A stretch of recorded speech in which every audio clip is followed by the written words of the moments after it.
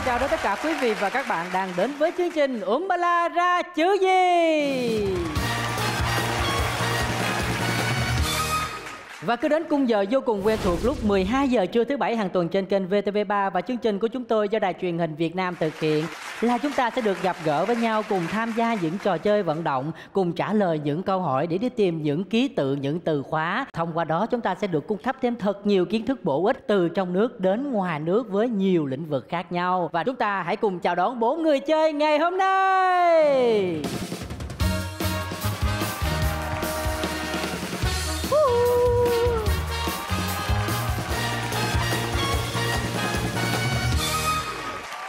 Xin mời bốn người chơi hãy gửi lời chào đến tất cả quý vị khán giả đi nào. Xin chào tất cả mọi người, mình là Lê Hữu Đạt, mình là người mẫu và diễn viên ạ. Nhìn là cái tướng là hay biết người mẫu rồi đó nha. Cao ráo đẹp trai quá trời luôn. Xin chào quý vị khán giả của chương trình Úm Ba La ra chữ gì Chào anh Quỳnh Lập và chào các anh chị Em là Lê Thu, hiện tại em là diễn viên Còn bên đây thì sao ạ? Dạ, lời nói đầu tiên cho em xin gửi lời chào tới anh Lập cùng tất cả quý vị khán giả đang theo dõi chương trình Úm Ba La ra chữ gì. Em tên là Tức Diệu Hằng, nghề nghiệp hiện tại của em là ờ, diễn viên. Lời đầu tiên cho em gửi lời chào đến anh Huỳnh Lập và khán giả của Ấm Ba La ra chữ gì. Em tên là Nguyễn Hữu Anh và hiện tại em là diễn viên và người mẫu ạ. Ôi ôi, đội nào cũng có một diễn viên và người mẫu Dễ sợ chưa? Hèn chi đứng hai bên như hai cây trụ ha Trụ chắc quá. Trụ chắc, cực kỳ chắc luôn Và không biết rằng là chúng ta đã có tên đội chưa? Tên của đội em là Nóng Bỏng. Nóng bỏng, có nóng bỏng nha Đúng rồi. Cái nóng bỏng này nó không phải là một cái nắng nóng ở thành phố Hồ Chí Minh đâu Mà đó là một cái sự nóng bỏng đến từ ngoại hình và thần thái của hai bạn Còn bên đây thì sao? Dạ, bên đội của em thì bên đó là nóng bỏng rồi. Ừ Thì bên em, à nắng quá, nắng quá. À, nắng Cháy quá. da hết Cháy rồi. cháy, đen luôn anh ạ. Tụi em lấy tên đội tụi em là cháy nắng thôi. Nhìn em là thấy cháy rồi đó nha Em cháy từ trong ra ngoài luôn á. với một cái thời tiết là 40 độ mà đồ da đồ ơ đồ ha nhìn có vẻ cũng rất là à, dữ dội không biết rằng là hai đội chơi của chúng ta đến đây có một cái gì đó muốn gửi tặng đến khán giả không ạ Tụi em thì ờ, đến đây cũng không có gì hơn Chỉ có một ờ, tiết mục ờ, vui vui vui à gì Để vui khởi động ờ, trước khi mình ờ, tham gia vào cuộc chơi thì Đúng. mình khởi động cho mình nóng lên một chút xíu đúng được rồi mà. tại vì á, chương trình của chúng ta phát sóng vào lúc 12 giờ trưa nhiều khi người ta bị buồn ngủ trưa ta đang à, cảm giác mà thiêu thiêu thiêu thiêu đi mình phải khởi động lên để cho cái không khí của mình nó nóng bỏng lên đúng như cái tinh thần của nhóm của mình để cho tất cả quý khán giả theo dõi chương trình này hấp dẫn nhất có thể và phần tiết mục đó của mình là gì nào Đó là một ờ, tiết mục nhảy theo trend Còn ờ, nhảy bài gì thì ờ, nhảy rồi sẽ biết À, music lên một cái lên nhạc nha. Ok. Music. Tôi biết bài này nha.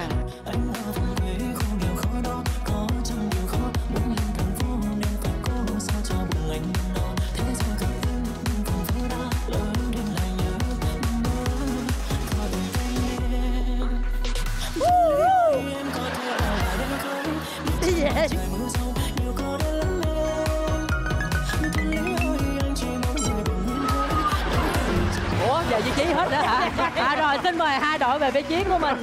Em thấy anh phiêu em không dám kêu. Không dám kêu anh luôn ạ.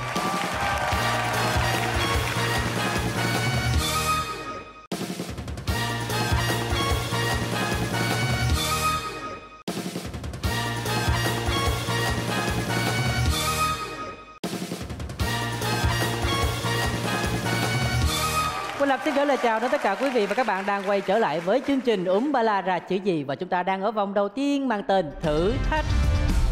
Vòng 1 thử thách. Hai đội chơi cùng đi tìm một từ khóa chính, được gợi ý bằng 10 câu hỏi phụ. Đội chơi nhấn chuông giành quyền trả lời. Thời gian trả lời cho mỗi câu hỏi là 30 giây. Nếu đúng sẽ được mở một ký tự của từ khóa chính. Nếu sai, quyền trả lời sẽ thuộc về đội còn lại. Hết 10 câu hỏi phụ, hai đội chơi giành quyền trả lời từ khóa chính. Đội chơi chiến thắng sẽ giành được 5 triệu đồng. Chúng ta có một từ khóa gồm có 10 ký tự. Gợi ý đầu tiên như sau. Đây là nơi nằm ở thành phố Hội An, tỉnh Quảng Nam. Gợi ý đầu tiên nó rộng lắm Chúng ta sẽ rất là hoang mang, mơ hồ Để có thể tìm đúng cái địa điểm mà dựa trên cái gợi ý một Nên bắt buộc chúng ta phải đến những câu hỏi phụ để đi tìm những ký tự Câu hỏi phụ đầu tiên Theo số liệu thống kê đến năm 2021 của mạng lưới thư viện toàn cầu, Quốc gia nào có số lượng thư viện công cộng nhiều nhất Đông Nam Á? A đó thấy chưa? Hết đâu hết đâu chưa ta. có khẩu lệnh hết của mc á nha. Em em thử chuông thông em cảm thử thử chuông chuông tụi em thử chuông thôi anh. Thử chuông đúng Dạ. không? Rồi nãy giờ mình thử xong hết Dạ, chưa? dạ, dạ em thử xong rồi ạ. Bây giờ mình coi như xé nháp nha. Dạ. câu đầu tiên xí xóa cho đó. A malaysia b thái lan c việt nam.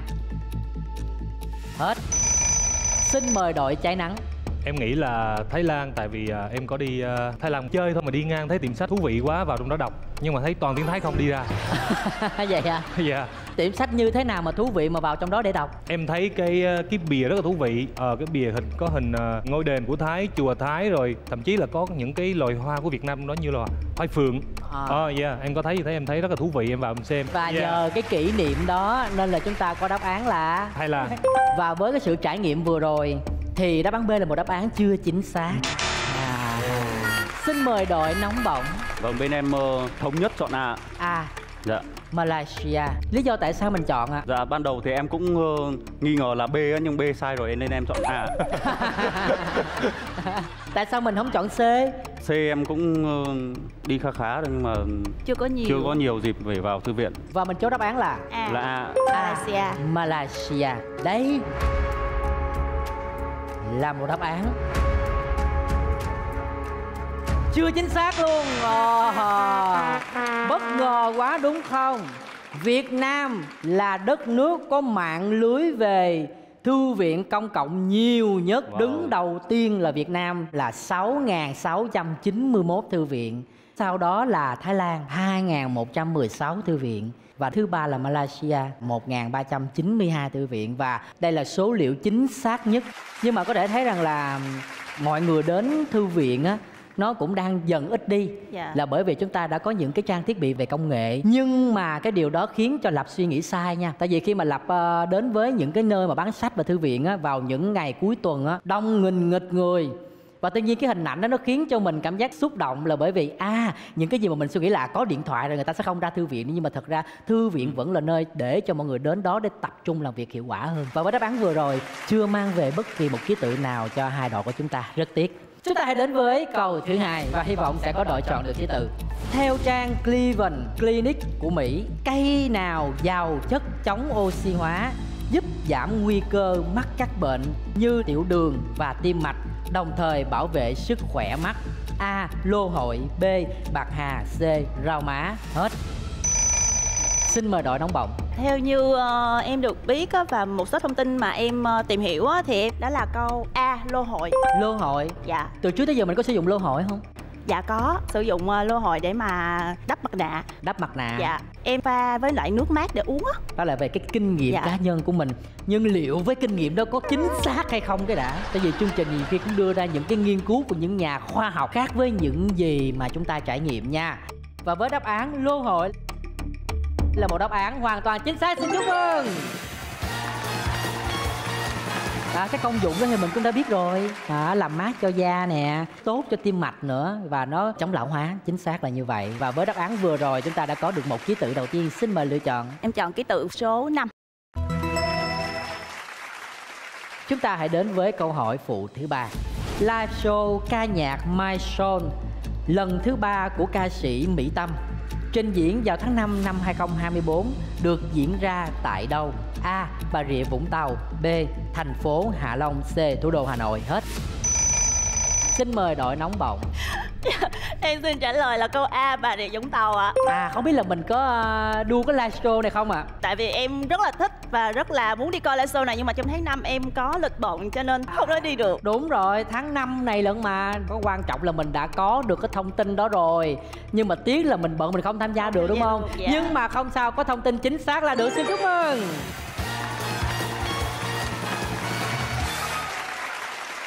Với đáp án vừa rồi đã mang về cho đội nóng bỏng thêm một ký tự nữa Xin mời lựa chọn thì em sẽ lựa chọn ờ, số 4 ạ Hãy đến với câu hỏi phụ thứ tư Xin mời hai đội nhìn lên màn hình Wow. Tommy là chú bò đực khổng lồ lập kỷ lục Guinness thế giới về điều gì? A. Cân nặng B. Chiều cao C. Độ tuổi Hết Xin mời đội cháy nắng thật sự em chỉ biết chú Tommy gần nhà em thôi chứ em không biết chú bò Tommy này. Nhưng mà em nghĩ ờ, lập kỷ lục thì ờ, suy nghĩ của em thì em nghĩ là độ tuổi. Độ tuổi là hồi nãy mình thấy con bò tóc bạc nhiều quá. Dạ nhìn nó cằn cỗi quá. Cằn cỗi Dạ. già nua. Dạ. Ờ. Với lại em nghĩ là à, khi đưa một cái hình ảnh nó lên để cho mình thấy chú bò thật là to lớn và cao để đánh lừa tụi em. Ghê nên là em nghĩ là độ tuổi sẽ là chuẩn nhất. À nhìn con bò cũng rất là cằn cỗi ha. Yeah. chú bò Tommy này khó đoán quá. Chính vì nó khó đoán nên đây là một đáp án chưa chính xác chưa chính xác. Cười quan dại rồi. Xin mời đội nóng bỏng Em thì em nghĩ rằng là khi mà nhìn cái hình vừa nãy thì có một người đàn ông rất là to lớn. Chú bò Tommy này đạt kỷ lục Guinness vào chiều cao ạ. là dựa trên cái hình thể của một người đàn ông cao to đứng kế bên mà con bò còn cao hơn nữa Mà cao mà còn Ờ. to nữa. tụi em cũng ờ, suy đoán nhìn qua cái Ừ. hình tụi em suy đoán thôi và đáp án của mình chốt là Chiều cao. đây là một đáp án hoàn toàn chính xác xin chúc mừng Chú bò này là một chú bò Thụy Sĩ với cân nặng là từ 580 kg đến 630 kg. Trong khi bò đực có thể nặng gần tới 1 tấn, Tommy đã vượt qua rất nhiều tiêu chuẩn này và chú nặng hơn 1.300 kg. May mắn là Tommy có hình thể phù hợp với trọng lượng bởi vì chú cao tới 1m87, là gần 2m. Cao hơn, cao gần bằng em. Ôi con bò mà cao hơn em chứ. Cao cỡ em không? Cao hơn chứ. Cao hơn luôn. Cao hơn tụi em luôn ấy. Ờ không biết là hai bạn này là mình cao bao nhiêu ạ? À? Em 1m84 84 Là em 86 ạ. 86. Kém, kém Tommy 2 phân. Ờ, thua Tommy 2 phân Mà mình có Wow. có đang có đang độn thêm không? vậy Dạ có độn không. không Dạ À không độn, người ta là chiều cao thật sự Chứ không phải như anh em mình đâu hàng hàng đừng cười vậy em cũng mét sáu chứ đâu có đến Cái này đâu. là dài là bình thường, không có độn cái nào đâu chân nha đó là lý do tại sao tôi đứng đây tôi không đứng kế bên là vậy và với à, hình thể của chú bò vừa rồi mang về cho đội nóng bỏng một ký tự nữa xin mời lựa chọn đội của tụi em sẽ chọn ờ, ô số 2 2 ạ. Đội cháy nắng ơi mình hãy thể hiện cái sự cháy của mình trong những cái ô màu đỏ đi em nghĩ Dạ. là chưa có cái ô màu đỏ nào của mình luôn á cái vòng Dạ tiếp rồi. theo mình sẽ nghĩ đơn giản hơn đi mình đừng Đúng rồi, tự nhiên tự đánh lừa bản thân mình. Chúng ta hãy đến với câu hỏi phụ thứ năm. Ai sẽ là đại diện của Việt Nam tại cuộc thi Hoa hậu quốc tế năm 2024 tại Nhật Bản? A. Huỳnh Thị Thanh Thủy B. Phạm Ngọc Phương Anh C. Huỳnh Trần Ý Nhi Hết Xin mời à, đội nóng bỏng em ờ, đoán là đáp án C C Huỳnh Trần Ý Nhi Cái này là mình dựa trên những dữ kiện nào mà mình đưa ra đáp án này Nếu mà em nhớ không lầm nha thì ờ, năm 2024 sẽ có một đại diện để đi thi cuộc thi Miss World. Trước đây em cũng có tham gia cuộc thi nên em cũng có theo dõi về cái trang Miss World đó. à, Cho nên em nhớ là có một đại diện thi vào năm 2024 và em nghĩ là Huỳnh Trần Ý Nhi. là dựa trên cái dữ kiện mà em đã từng tham gia chương trình Huỳnh Trần Ý Nhi. Đây là một đáp án chưa chính xác. Xin mời đội cháy nắng Đây là cơ hội cho mình cháy nè.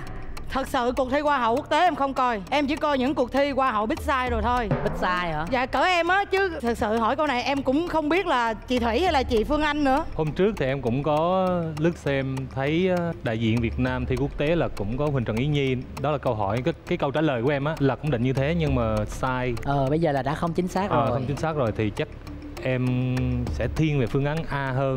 Em cũng ờ, thích tên chị thủy hơn. Thủy nước à? Dạ. Là thích chị Thủy hơn. Dạ em ờ, nhóm tụi em chốt ờ, chị thanh thủy ạ. Chị Thanh Thủy. Dạ. Thích chị Thủy hơn nên Dạ. chốt chị Thanh Thủy. Huỳnh Thị Thanh Thủy là một đáp án.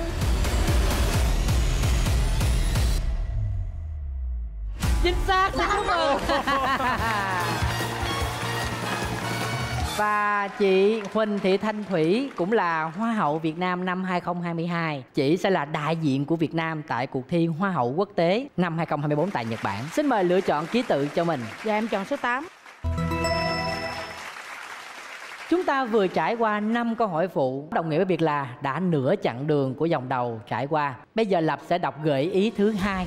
Gợi ý thứ hai Du khách thích cảm giác mạnh có thể chơi dù lượng mô tô nước và lướt sóng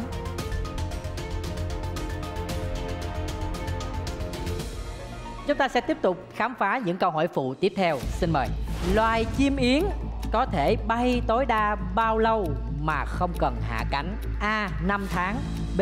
8 tháng C. 10 tháng Hết Xin mời đội trái nắng với sự bấm chuông vô cùng hoang mang dạ em thích số 8 em xin chọn ờ, 8 tháng ạ À, tích số 8 Đội em nghĩ là sẽ là 10 tháng. Khoảng thời gian mà tham quan cái nhà Yến á thì em nghe nói nhưng mà em không nhớ là khoảng thời gian nó bay là 10 tháng liên tiếp không nghỉ hay là khoảng thời gian nó cho yến cho cái uh, hứ. cái để mà mình Ừ. làm yến á Nếu như mà đội bên đây trả lời sai thì đội nóng bỏng sẽ chốt là thì em nhớ số 10 á thì đội của em sẽ chọn là 10 tháng Vậy thì Lập sẽ ghi nhận hai đáp án của hai đội. Đội cháy nắng là 8 tháng. Đội nóng bỏng là 10 tháng. Và đáp án của chương trình đó chính là 10 tháng xin chúc mừng nóng bỏng. À.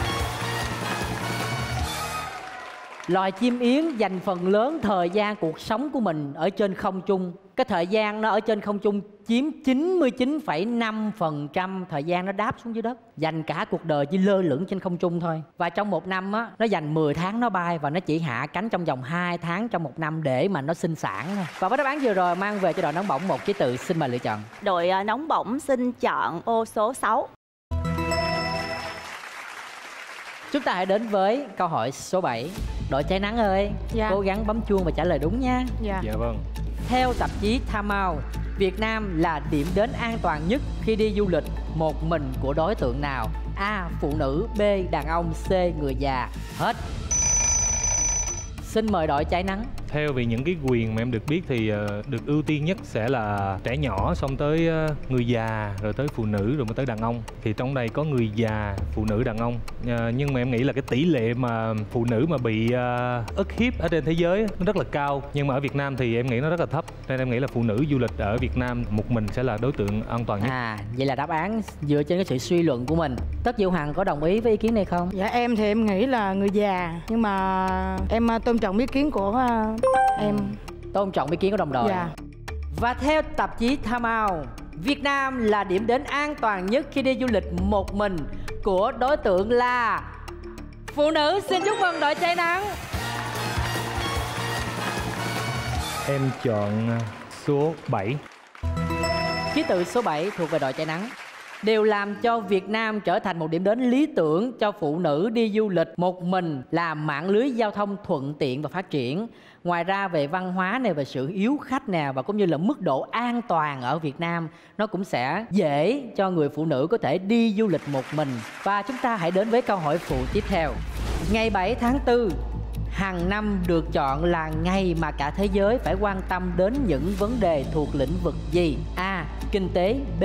Giáo dục C. Sức khỏe Hết Xin mời đội cháy nắng dạ em à, chọn đáp án à, A kinh tế ạ Kinh tế Lý do tại sao mà người ta chọn ngày 7 tháng 4 là ngày của kinh tế? trước đó là ngày 1 tháng 4 em bị nói dối á xong rồi à, em lướt nhiều á thì cái thời điểm đó em nhớ là em đọc về nhiều bài báo về à, kinh tế thì em À suy luận như thôi cái khoảng thời gian đó tự nhiên mình cảm thấy là mình đọc nhiều những cái thông tin những cái à, bài báo liên quan đến kinh tế liên quan đến sự phát triển của đất nước và nếu như đội của cháy nắng trả lời sai thì đội nóng bỏng sẽ chọn đáp án nào Đội em ờ, chọn đáp án C về sức khỏe. khỏe. tại sao là sức khỏe? Tại vì thời gian vừa rồi em thấy các bạn chạy marathon rất nhiều. à. Em nghĩ là để ờ, kêu gọi mình mọi quan người tâm mình chú Mình ý quan rằng tâm là giới khỏe. trẻ đang bắt đầu vận động đúng không? Và với hai đáp án là kinh tế của đội cháy nắng và sức khỏe của đội nóng bỏng.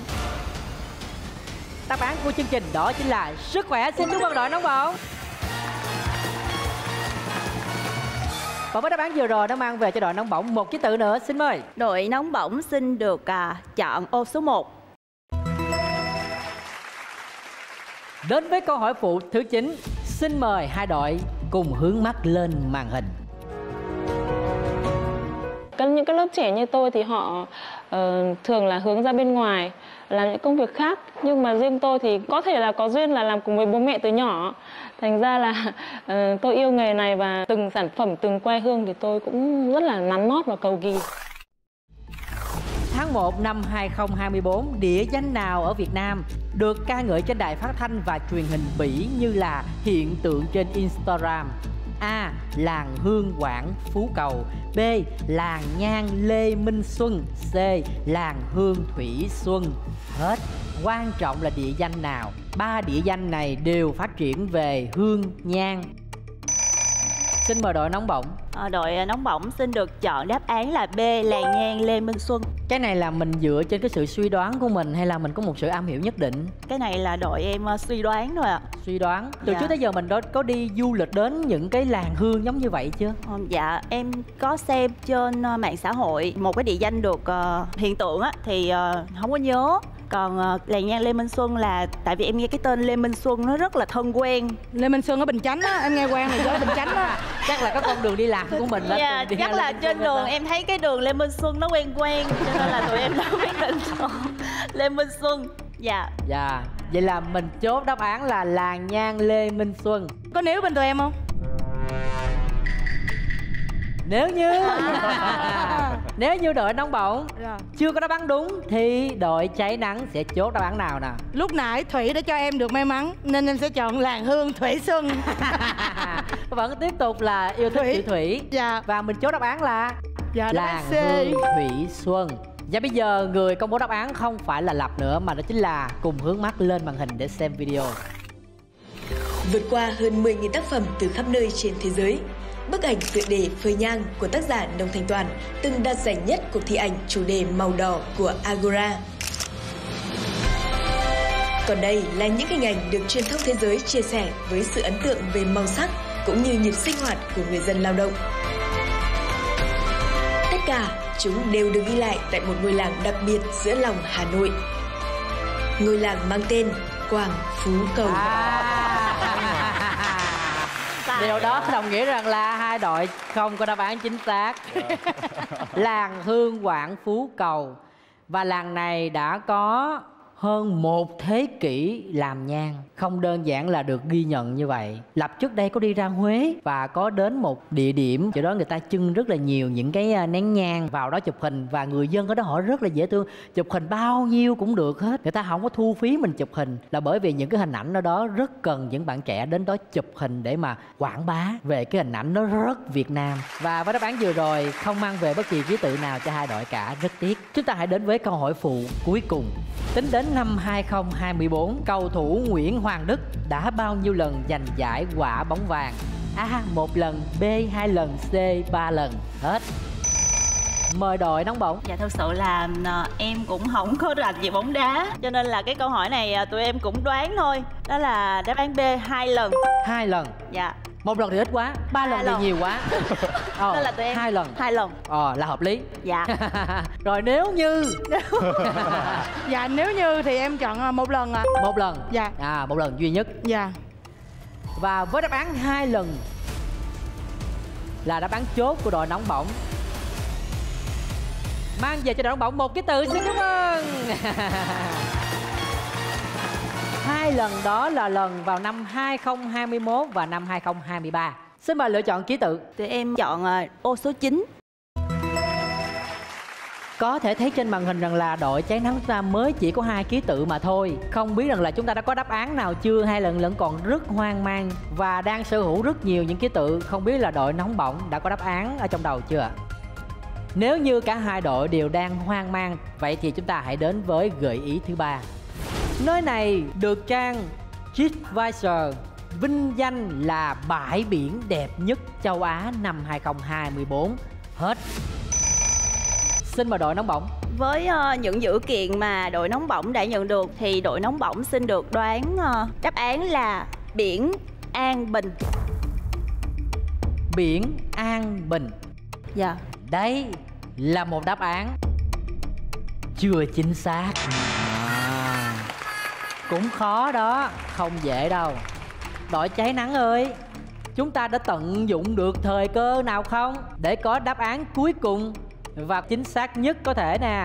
À, thật sự em là một người con của miền Trung. Em cũng gần Hội An nhưng mà thật sự câu hỏi này nó đối với em thì à, thật sự là em hơi khó và em chưa có tìm hiểu về Hội An kỹ lắm. Nhưng mà theo những cái dữ kiện mà em vừa tham khảo được thì em nghĩ đây là biển An Bàng.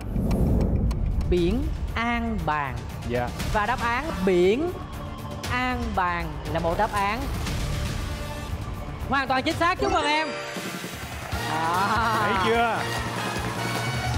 hai bãi biển An Bàng, Hội An và Mỹ Khê Đà Nẵng xếp thứ năm và thứ sáu trong top 10 bãi biển đẹp nhất châu Á do trang TripAdvisor bình chọn. Nếu như mình có cơ hội mình thử đi đi. Địa danh này cũng à, khá là xa lạ đối với Lập và bản thân Lập là một người cũng rất là thích biển. À, hy vọng rằng là sẽ có cơ hội đến với nơi đây khi mà chúng ta đến với uh, phố cổ Hội An. Và với đáp án vừa rồi đã mang về cho đội cháy nắng 5 triệu đồng. Xin chúc mừng. Yeah. Và chúng ta còn rất là nhiều từ khóa để cho hai đội chinh phục đó là vòng thách đấu. Mọi người ơi đừng rời màn hình nha, chúng tôi sẽ quay trở lại ngay thôi.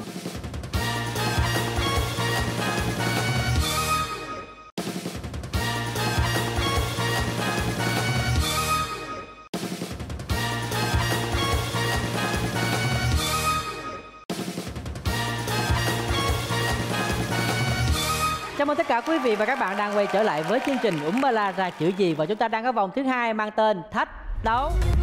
Vòng 2, thách đấu.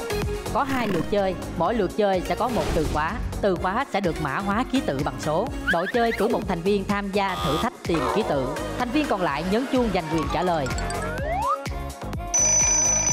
Nếu sai, đội còn lại có thể đưa ra câu trả lời hoặc tiếp tục đi tìm ký tự. Mỗi câu trả lời đúng sẽ được 5 triệu đồng. Sau hai vòng thi, đội chơi có số tiền thưởng cao hơn sẽ bước vào vòng 3. Nhiệm vụ của người chơi đó chính là hai người đau lưng với nhau. Một người chạy lên đây, lấy bất kỳ một cái con số nào đó, nhìn đọc. Nếu như vậy là không có số thứ tự. Còn nếu như cái ô nào có số thứ tự thì người còn lại đang đứng ở bàn này sẽ nhận được một ký tự tương ứng với số thứ tự đó. Sẽ có 3 gợi ý cho từ khóa này. Gợi ý đầu tiên Lập sẽ đọc trước khi trò chơi bắt đầu. Gợi ý thứ hai, Lập sẽ đọc khi mà Lập có khẩu lệnh là dừng trong quá trình tham gia trò chơi. Thì chúng ta đang trong quá trình chạy hay như thế nào mình phải dừng đúng cái tư thế đó để nghe gợi ý thứ hai. Và gợi ý thứ ba sẽ được đọc trong trường hợp khám phá được hết tất cả những ký tự rồi mà hai đội chơi vẫn chưa có câu trả lời. Nhớ nha. Bây giờ hai đội chơi cử một người lên chơi lượt đầu tiên.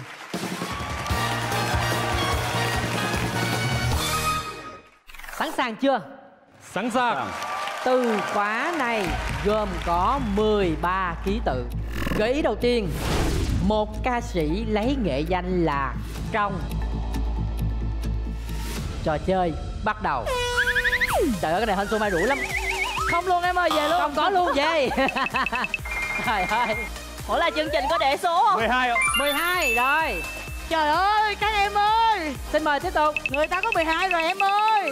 14 ạ. 14 14 chỉ có 13 ký tự thôi, nó mất 14 vậy là không có. 5 ạ. số năm. trời ơi may mắn quá. Bỏ cái đi đó lại. Rồi bỏ cái đi đó lại. Số 3 ạ. số 3 8 ạ. số 8 hay quá sao mà may mắn dữ vậy ta? Em ơi! Em ơi Số 13 ạ. 13 Số 7 ạ. số 7 hay vậy? Sao may mắn vậy? Dừng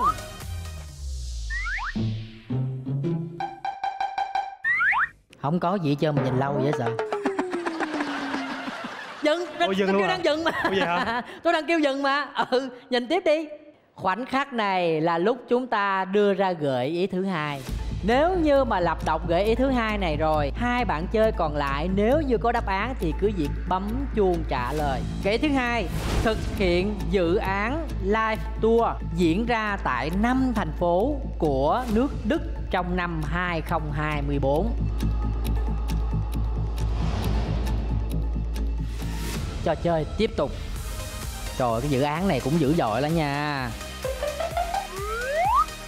Không có. Không có. Bị liệu, bị liệu, bị liệu, không có. Không có. Số 4 ạ. à, Số 4 mà, số 4 mà Không có. Không có. Tiếp luôn. Số 9 ạ.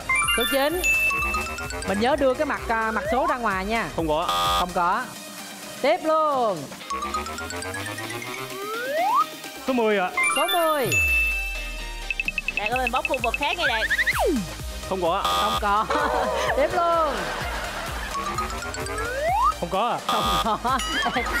Nhiều khi là nãy giờ bắt chúng con cái đó bắt hoài á. Một cái nha. Số 2 ạ. Số 2 hay quá. Không có ạ. Còn 3 ký tự. 11 ạ. 11 hay quá. Còn hai ký tự nữa thôi. Số 1 và số 6 sẽ thuộc về đội nào đây không có ạ Không có? Dỗ đi dỗ đi Đạt. Số 1 ạ. Số 1 hay quá. Rồi Chỉ còn một con số nữa thôi Số 6 số 6 ạ. Số 6 hay quá tuyệt vời. Wow. Xin mời hai người chơi quay về vị trí của mình Để cùng đồng đội tìm từ khóa. Nếu như cả hai đội chưa có đáp án Thì chúng ta hãy đến với gợi ý thứ ba. Mọi người có đồng ý xem gợi ý thứ ba không? Dạ chắc là ờ, đồng ý ạ. Và với gợi ý thứ ba này, Lập sẽ đưa ra một cái luật chơi. Nếu như xem hình ảnh này, Ai có đáp án cứ việc bấm chuông, Lập sẽ không đưa ra khẩu lệnh hết. Nó nó dựa trên cái sự nhận diện nhanh hay chậm của mình nữa. Và sau đây là gợi ý thứ ba. Xin mời xem màn hình gian qua, những điều kỳ lạ đã xảy ra ở thành phố này. Xuất hiện nhiều những dấu tích từ bạch tuộc ở khắp mọi nơi. Có nhiều người theo dõi sự kiện, có người cảm thấy phấn khích, có người cảm thấy Có đáp án cứ việc bấm chuông. Hiện tại cơ quan chức năng điều tra Ôi, trọng yếu tĩnh. Cũng trọng yếu Không phải Trọng hiếu Xin mời đội nóng bỏng à, Đáp án của đội nóng bỏng là ca sĩ Trọng Hiếu Đó là một đáp án hoàn toàn chính xác Xin chúc mừng à, yeah. Trời ơi Nãy giờ em tìm Trọng Hiếu mà em nói Ủa sao không có ký tự mà còn hai chữ ca sĩ ngoài trước nữa? Chứ em nhìn em thấy Trọng Hiếu liền mà Mới đổi nghệ danh là Trọng thôi. Là thiếu hai chữ ca sĩ đó đúng không? Chứ ca sĩ. Đúng rồi Chỉ là đội tưởng- em đội em làm cho em bị hoang mang anh ạ. Và với đáp án vừa rồi đã mang về cho đội nóng bỏng 5 triệu đồng Xin chúc mừng. Và bây giờ chúng ta hãy đến với lượt chơi thứ hai Xin mời hai thành viên còn lại Và bây giờ là lượt chơi thứ hai. Hai bạn nữ trong đội. Có thể thấy rằng là hai bạn nam của chúng ta cũng rất là cực lực để chạy tới, chạy lui. Thì không biết là mình có đủ sức để có thể chạy được như vậy hay không? Hy vọng rằng là may mắn sẽ mỉm cười với mình, Thu thập được thật nhiều những con số Để có nhiều dữ liệu đưa ra đáp án chính xác. Từ khóa này gồm có 14 ký tự, Hơn từ khóa hồi nãy một ký tự. Gợi ý đầu tiên, Đây là một tổ hợp môn học. Trò chơi bắt đầu. Không có Không có. Xin mời Hằng? Nhớ khiêu khiêu chị nha Chị không có Có khẩu lệnh của MC Không có. Cả hai mới vừa bắt chung một cái luôn á. Rồi xin mời Thu. Vậy là chắc đi theo chiến lược á anh ơi. Số 4 ạ. Số 4 Rồi giữ luôn. Giữ luôn. Xin mời Hằng. Nói khiêu khiêu chị chứ. Nghe khẩu lệnh anh được rồi. Số 7 giữ luôn. Rồi xin mời Thu Số 8 Số 8 hay quá Tới Hằng Số 13 em đọc lên đi em Số Em đưa 13. coi chi vậy? Ừ em đọc lên đi.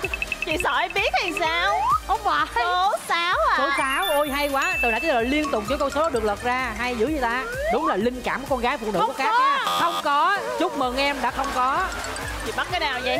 Số 10 Số 10 Tuyệt Xin mời. vời. Hằng cố lên chị hằng ơi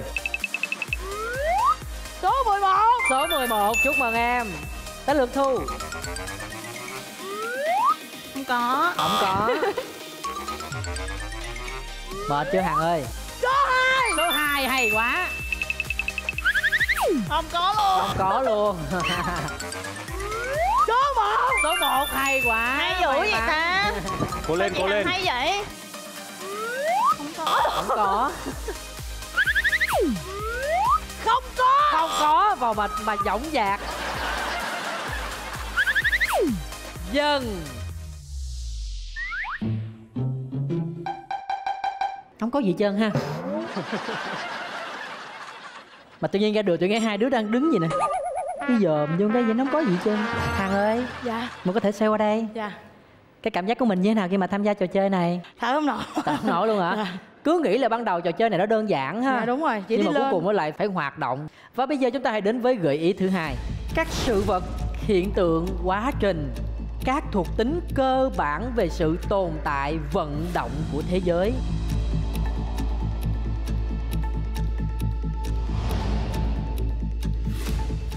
Trò chơi tiếp tục.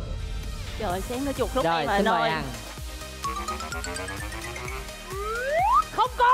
Mới bắt lại y chang cái nãy của thu gáy luôn hay dễ sợ chị em mình tương thông giao quá. Cách cảm này sao á? Mới có phân nửa chặng đường thôi. Ba. Số 3 tới chị. Xin mời Hằng. Còn nhiều con số lắm. Không có. Không có hả? Mệt lắm hả? Rồi. Bắt đầu cho thêm một sự ưu ái nha. Chúng ta xem xong cái đó nếu không có có thể lật lên luôn. Dạ. Số 12 Số 12 xin chúc mừng. Hằng ơi Màu son em mất tiêu rồi, đâu mất tiêu rồi Hằng. Dạ không có. Không có. Tới Thu. 14 14 Trời ơi Hằng ơi. Ok chưa đạt ơi? Tuyệt vời quá em ơi. Không có. Sao vậy Hằng ơi? Khoảng dáng rồi Loạn choạng rồi số 5 Số 5 trời sao hên quá vậy Không có cọc. Chơi không có cọc. Cọc. Cho Không em có dầm mâm không sống chén như vậy. Em nghe cái gì rầm rầm như chị số 9 Số 9 Người ta có rồi kìa. Rồi xin mời hai bạn về vị trí của mình Và chúng ta đã có tín hiệu Chuông của đội nóng bỏng. Xin mời đưa ra đáp án của mình. Theo các thông tin mà em nhận được thì thứ nhất là về các thuộc tính của trái đất, cái thứ hai là tổ- tổ hợp của tất cả các bộ môn học. Thì em xin đoán được các ô chữ này là khoa học tự nhiên ạ. Khoa học tự nhiên Dạ. là dựa trên những cái gợi ý liên quan đến những sự vật hiện tượng rồi tổ hợp những bộ môn và những ký tự mình đang có. Đáp án của chương trình. Từ khóa gồm có 14 ký tự này. Đó chính là khoa học tự nhiên. Xin chúc mừng đội nóng bỏng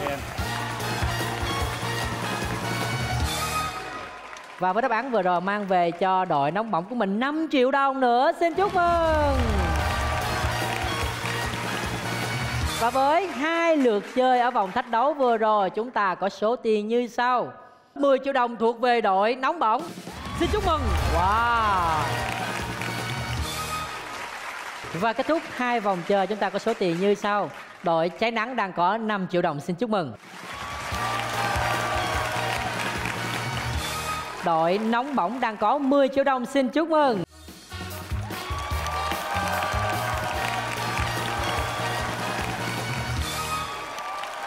Và đội còn lại ít tiền hơn sẽ phải ra về Bây giờ là giây phút chúng ta chia sẻ những cảm nghĩ và gửi những lời chúc cho đội bạn Dạ thực ra thì à, hôm nay à, em tới đây á, em cảm thấy rất là vui khi mà thật sự là có nhiều kiến thức á, thì à, mình còn không có biết được á anh. Nhưng mà nhờ chương trình á, thì mình có thêm được những cái kiến thức đó. Với lại là em hy vọng đội bạn sẽ vào vòng trong và giành được giải thưởng cao nhất. Với riêng em thì hôm nay đến với chương trình ẩm ba la ra chữ gì thì đây là một cái sự trải nghiệm rất là thú vị à, giúp cho em có nhiều kiến thức mới và giúp cho mình có cái khả năng mà suy luận ra và em chúc cho đội bạn vào vòng trong sẽ chiến thắng và giành được giải thưởng cao nhất nha. cảm ơn đội. Sao tự nhiên tôi thấy hai nhóm bạn ngày hôm nay chơi mà cảm giác nó hòa thuận. Những đội khác cùng những số khác là xéo sắc dữ lắm nha. Vậy đó hả? Về mà chúc là ừ chúc cho đội bên kia cũng ờ, chiến thắng nghe. Đó có nghĩa đó cũng chúc đó mà anh mắc kỳ dữ lắm. Cảm ơn ờ, đội cháy nắng rất là nhiều. Dạ. Ngày hôm nay đã dành thời gian đến với chương trình. Dạ. Và đội nóng bỏng sẽ chính thức vào vòng trong. Đó là vòng úm ba la và vòng 40 lạc của chúng tôi sẽ quay trở lại. Nghe thôi, Quý vị khán giả ơi, đừng rời màn hình nha.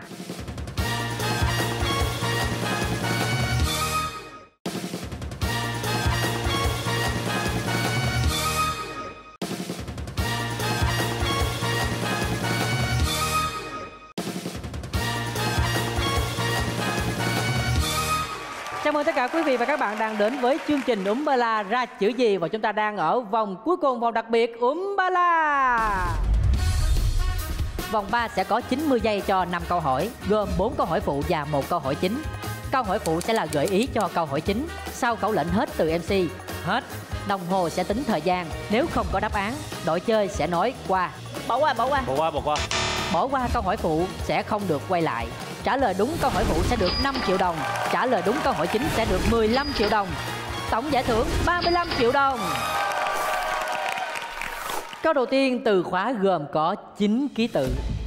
Một địa danh đậm chất hoài cổ. Cùng kiến trúc độc đáo gắn liền với vùng đất cố đô xưa. Hết Hoài cổ nha. Huế hả Thời gian đang trôi qua. Ở đâu những có cái những kiến trúc xưa? Một địa danh đậm chất nếu như không có thì mình bỏ qua. Chữ e này là một cái tên ờ, một cái nơi nè. Chữ h nè. H với e. Nếu mà không có đáp án thì mình mình bỏ qua đi. Nếu không có đáp án mình bỏ qua chỗ này nó Bỏ xưa lắm. Bỏ qua. rất là Bỏ xưa qua, bỏ kiến qua. trúc Bỏ qua, bỏ bỏ qua. Bỏ qua rồi chúng ta hãy đến với câu thứ hai. Nhớ nha phải tiết kiệm thời gian nếu như không có đáp án thì cứ mạnh dạn bỏ qua. Từ khóa thứ hai gồm có 11 ký tự. Tác phẩm điện ảnh nào dùng nhiều địa điểm ở Huế như cây vong đồng phố cổ bao vinh làm bối cảnh chính? Hết. Tác phẩm điện ảnh. Tác phẩm điện ảnh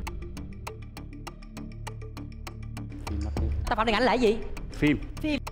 dừng. Dừng. Phim mắt biếc ạ. Chính xác phim mắt biết hãy đến với câu hỏi phụ thứ ba. Hết sức tập trung nha.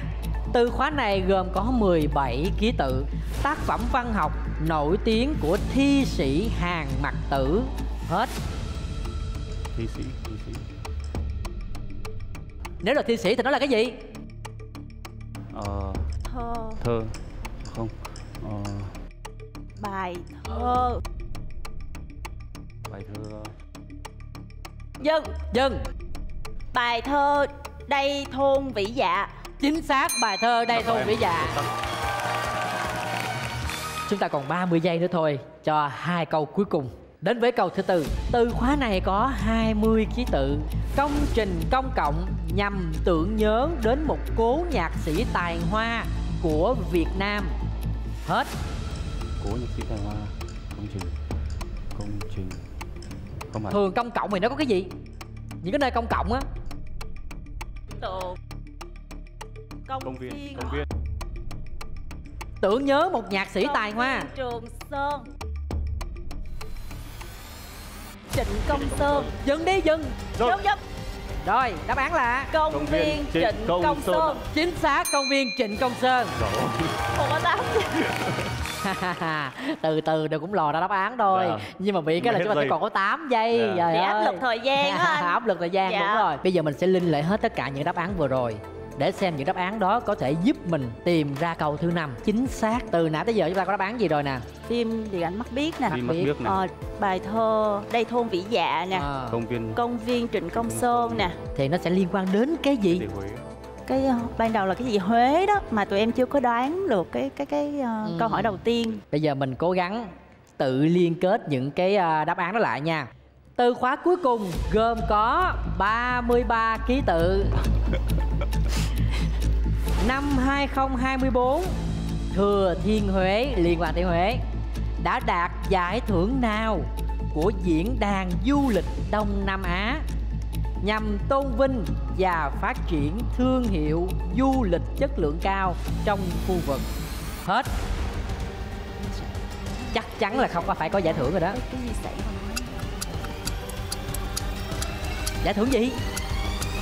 Mình đoán đi. sản cũng khó chúng ta có 8 giây thôi thiệt sự nếu là đó là người chơi sử. thì cũng rất khó đoán ra được chính xác cái Dạ. đáp án này ờ giờ mình tự đoán nữa coi bây giờ là bên chương trình hiện lên từ từ coi mình đoán được không không cái đầu là từ giải giải thưởng rồi du, cái du lịch dưới này giải À, thưởng du lịch đó hả? giải thưởng du lịch này giải thành phố du lịch ừ thành phố du lịch giải thưởng thành phố du lịch ờ, trên du lịch ờ, sạch hả? sạch sạch thành phố du lịch sạch ASEAN. ASEAN, ASEAN. Đó. Ồ.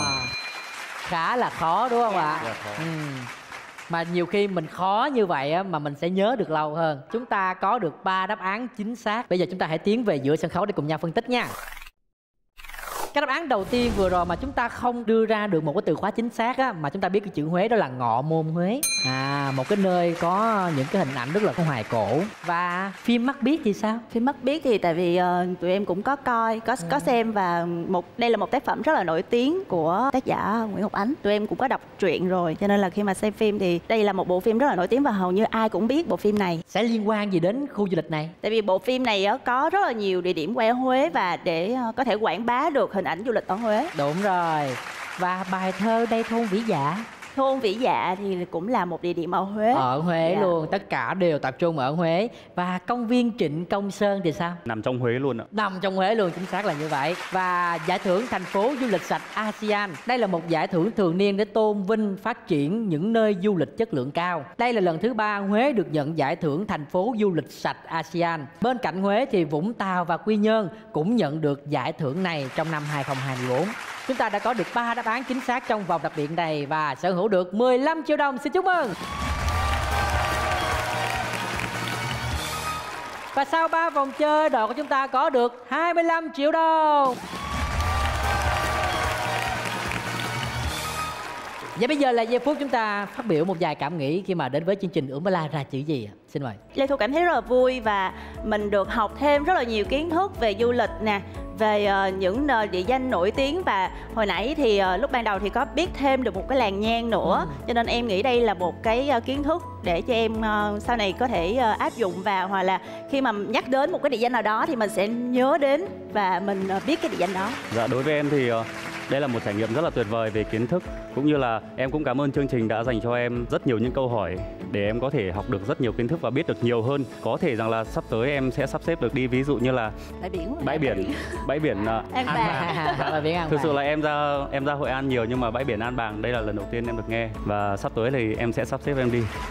Và Lập cũng sẽ như vậy. Dạ. Lập nghĩ rằng là tất cả quý khán giả cũng sẽ như vậy thôi là bởi vì khi đến với chương trình này chúng ta sẽ biết được rất nhiều những kiến thức mới mẻ hoặc là những nơi mà tất cả các bạn thậm chí là chưa nghe bao giờ và đó là những gì mà chương trình Umbala ra chữ gì muốn mang đến cho tất cả quý vị khán giả. Hãy cứ đến khung giờ phát sóng quen thuộc nha lúc 12 giờ trưa thứ bảy hàng tuần trên kênh VTV3. Chương trình Umbala ra chữ gì do Đài truyền hình Việt Nam thực hiện. Rất là cảm ơn tất cả quý khán giả đã luôn dành thời gian theo dõi và yêu thương chương trình của chúng tôi. Bây giờ xin chào và hẹn gặp lại. Dạ, em chào anh Lập, xin chào quý vị khán giả. Em tên là Linh Cun và hiện tại em đang là một diễn viên ạ. Chào tất cả quý vị khán giả, à, em tên là Luna và hiện tại em đang là một diễn viên và là ca sĩ ạ. Em tên là Trần Lê Đức, hiện tại thì em đang là diễn viên. Em là Công Hiền, hiện tại em là diễn viên. À, đây là lần lần đầu tiên em tham gia chương trình Ấm Ba La ra chữ gì.